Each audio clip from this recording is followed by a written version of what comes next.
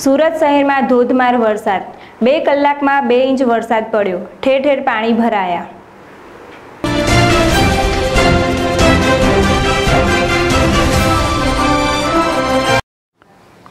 સુરત સહિત દક્ષિણ ગુજરાતમાં બે દિવસ સામાન્યથી ભારે વરસાદની આગાહી કરવામાં આવી છે.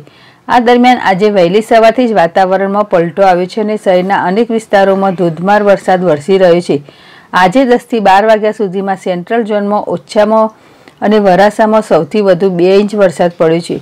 વહેલી સવારથી બાર વાગ્યા સુધીમાં સેન્ટ્રલ ઝોનમાં છપ્પન મીમી વરાસામાં પંચાવન મીમી, રાંદેરમાં એકતાલીસ મીમી કતારગામમાં ઓગણત્રીસ મીમી, આંઠવામાં ચૌદ મીમી અને લિંબાયતમાં દસ મીમી વરસાદ નોંધાયો છે.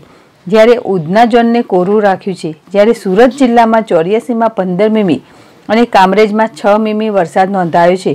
અને બારડોલી, મહુવા, માંડવી, માંગરોળ, ઓલપાડ પલાસના ઉમરપાડામાં વરસાદ પડ્યો નથી. વરાસા વિસ્તારમાં બે ઇંચથી વધુ વરસાદના પગલે પાણી ભરાઈ ગયા છે.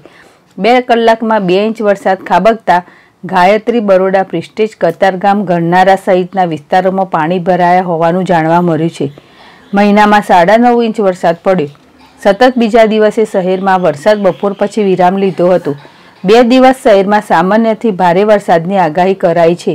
દરમિયાન આજે સવારથી જ વરાસા, અડાજણ, કતારગામ સહિતના વિસ્તારમાં ધોધમાર વરસાદ વરસી રહ્યો છે. એક મહિનામાં જ સાડા નવ ઇંચ વરસાદ વરસ્યો હતો.